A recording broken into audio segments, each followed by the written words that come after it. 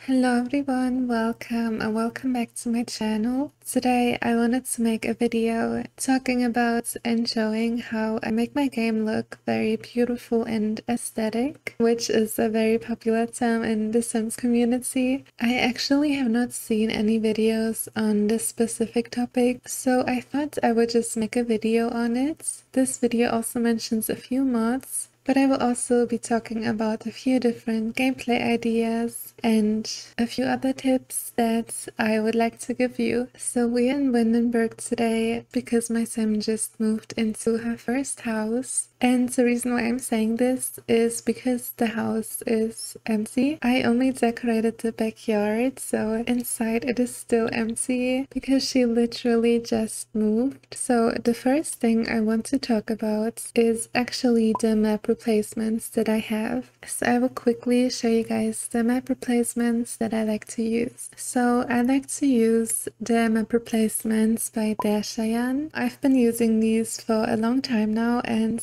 they are by far my absolute favorite one. I know that they are also different ones, but I just love how beautiful these are. They just look so hand-drawn and in my opinion matched art style of The Sims 4 very well. Here we have my Oasis Springs map and also in case you're interested in which save file I use, I actually use my own I've kind of set up my own save file. I've put in a lot of builds from people on the gallery and also a lot of sims from a Little Simsy save file, which is the one that I used to use before I started my own save file about a year ago. But yes, so about the maps, you will have to download them all individually. So obviously just download the ones where you own the packs. And the newest one is still the one from Snowy Escape. So if you have any expansion packs that came out after Snowy Escape, there has not been a map released yet, which is fine. I'm willing to wait because look how beautiful it looks. It's just so stunning. These are my absolute favorite map replacements. So next I wanted to show you my cast backgrounds. I do use G-Shade which I will also be talking about in this video but this is what it looks like with my presets and this is what it looks like without. I just really love very minimal backgrounds and to have my game look very clean and simple. And then this is my loading screen which is just so perfect for summer. I love it so much.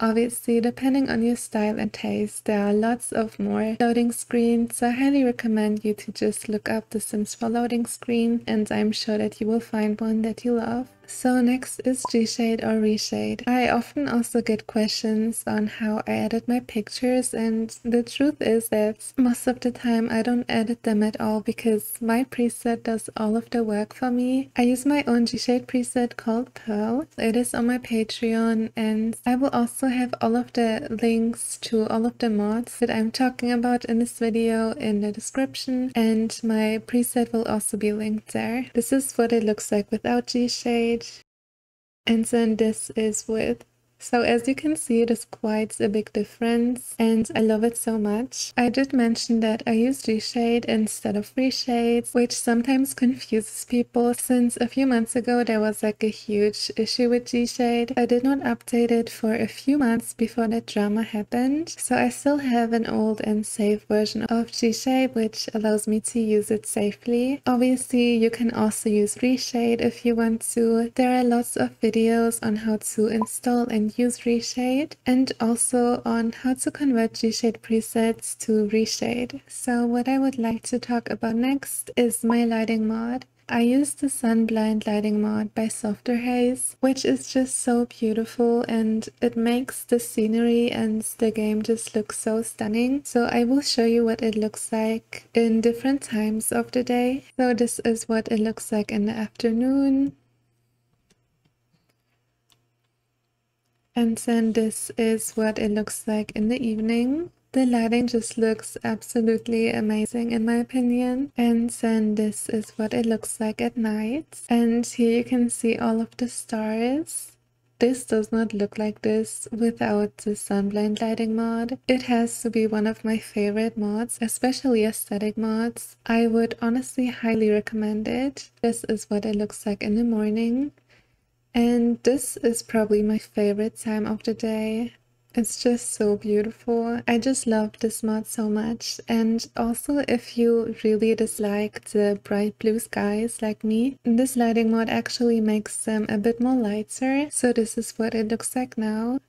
The next mod I want to talk about is the Better In-Game Lighting mod by Obscurus. This one has different settings. I use the average base and this one basically makes it so that your sim looks a bit more like to do and Create a Sim in game and I just think it makes a big difference and it looks so much better. I highly recommend that. It is so useful especially for screenshots. I do also want to mention that I think kind of experimenting and figuring out what your sim style is will make your game much more cohesive. So what helped me figure out my sim style is honestly just making a bunch of sims like not all in one day but just over the last few months I've really kind of found my sim style and which creators I like to use and what skin blends and skin overlays. Obviously, like having a sim style doesn't mean that all your sims look the exact same. You can still have a sim style and have sims that have variety and also experiment with different skin details. So I would highly encourage you to just try out different CC if you like to use CC and also give makeovers to townies if you like to. It just made my game look so much better and so much more put together.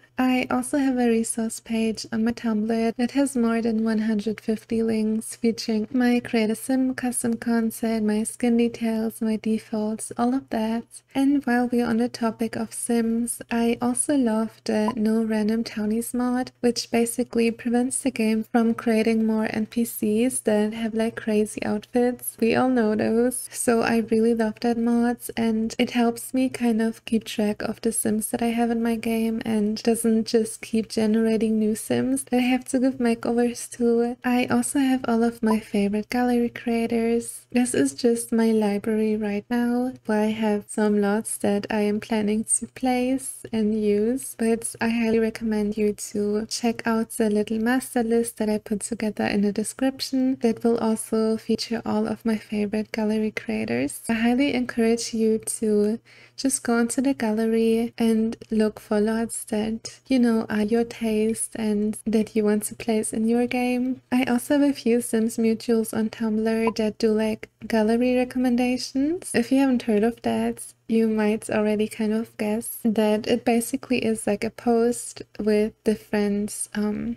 for example like spas and then they put their favorite spa recommendations so i will also have those favorite creators listed so you can check out their recommendations I absolutely love those and I'm also planning to do a few more of those on my Tumblr. So next I will be talking about a few of my favorite gameplay ideas that you can incorporate into your Sims game and you may be wondering how my Sims are playing tennis right now. I mean it doesn't entirely look like tennis but it is an override from the ping pong table that came with Discover University so I will also have that one linked in the description if you're interested. I absolutely love tennis, so I wish we had it in The Sims, but since we don't, this is what I like to use. A few more gameplay ideas could be hosting tea parties, having a Galentine's dinner for love day, or even going on a nice romantic date. Um, like I said, there's lots for that on the gallery as well. That will definitely help you to get some ideas and will make you want to actually leave the house. Or you can also go to the aquarium with your Sims or the family, or you can even have a weekly spa day and send your Sim to the spa. Also, of course, movie nights or go clubbing at like a rooftop bar. Like that would be so fun. And also another thing that I like to do is make the events in my Sims Life special. So, for example, if a Sim is getting married, I like to really plan out the wedding and, you know, also think realistically what kind of wedding that Sim would want. Of course, this video is not focused around gameplay ideas, so I won't mention like many. So the last thing that I do want to talk about in this video is how to actually make your Sims aesthetic like your own Sims game aesthetic, like personal to you, and how to just make it feel like it's your game, you know, not someone else's game, if that makes sense. So, for example, this house is honestly like pretty much my dream home, I would say. Not exactly, but it's very close to that. I also get a lot of inspiration to build and decorate on Pinterest, and I have a very um, specific aesthetic, I would say. So I always tend to kind of show that and reflect that in my Sims game, which is how my game feels very personal to me and also how it just feels like my game, if that makes sense. Like, for example, the tennis courts. I enjoy playing tennis, so I also wanted to find a mod or like even just if it was just for decor to incorporate that into my Sims game so my Sim can play tennis and even if it's just like an activity or like the whole aesthetic. So that is usually what I like to do and that is also why I love to see other people's Sims games. So even if someone has like a complete different aesthetic than me, I still love their game. Like I still follow Simmers whose game looks very different from mine or just have a completely different aesthetic and style. So with this video I obviously don't want to say that you need to use exactly what I use to make your Sims game look aesthetic. I always like encourage to, you know, just experiment with different custom content or mods or G-Shade presets, whatever. Figure out what you like and how you can make your game look beautiful in your eyes. So that is really all that I wanted to say in this video. I hope that it was helpful to you. Um, I've never done like a video like this where I talk about how I make my game look the way it does. So I hope that you enjoyed it. I will have a link in the description that will take you to a list of everything that I'm talking about in this video. So thank you so much for watching. I really appreciate it. I wish you a wonderful day or night and I will see you in my next video. Bye!